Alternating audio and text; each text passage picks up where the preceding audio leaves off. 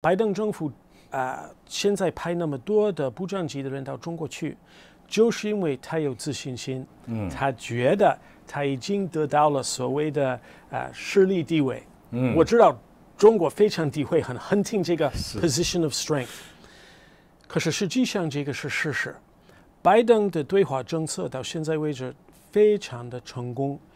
啊、他在美国啊、的投资，在基础建设，在科研方面，在教育方面，他所有的这些啊、再投资，比大概约翰逊以来的任何一个总统都大。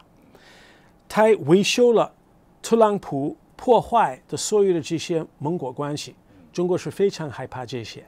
你看他啊，现在那个日本和韩国，你不能说完全和好了，现在还有问题，可是方向是有利于美国的，有害于中国的。不只是韩国和日本，你还有日本说，如果中国啊侵略台湾，日本也许也会参与的。北约现在有一个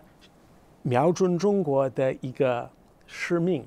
啊，它不是有限于欧洲的，啊，菲律宾也让我们啊用四个新的军事基地，这个也跟中国有直接的关系，啊，另外啊，美国跟印度、那个澳洲和日本的这个四方的这个合作。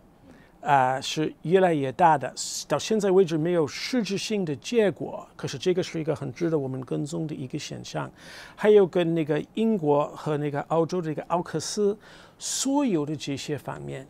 美国都正在得分，而且现在中国的经济放缓，所以为什么拜登啊拜登有自信心派那么多人到到到中国去，是因为他现在不怕。美国的共和党的鹰派骂他，说你太软弱，啊、他不怕。他们说你是迎合中国，他不怕，因为他知道他已经有了这个势力地位。所以我觉得这些人分析错了。美国能够派那么多人到中国去，是因为美国强，不是因为美国弱。而且中国不派部长级的这些领导人到美国来，习近平不去那个。二二十国集团，他没有去参加，使中国陷弱的，好像他害怕。如果他去的这些地方，很多人会问他：中国的经济到底如何？嗯，理想福在哪儿？情感在哪儿？啊，你为什么还支持那个俄罗斯的呃对乌乌克兰的这些惨不忍睹的侵略等等？对习近平来讲，你出头出席这些国际的这些会议没有任何好处。而且危险比较大，所以拜登这样做，他不是恳求中国跟他一起稳定这些关系的，他是因为他有自信心，他知道这些人到中国去很可能不会有一个具体的结果，没有关系，我们可以耐心，而且还有另外一个原因，这几年就是因为啊、拜登政府在维修美国的盟国关系，我们听了很多美国的盟国还有伙伴国。还有很多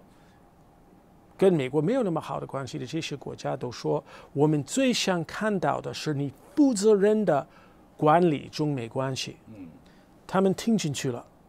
有相当一部分最近的这些美国的部长到中国去，是给第三国看，嗯，让他们知道我们是负责任的管理这些关系的。中方没有一个回应。是让这些第三国更担心中国的情况，美国还在得分的。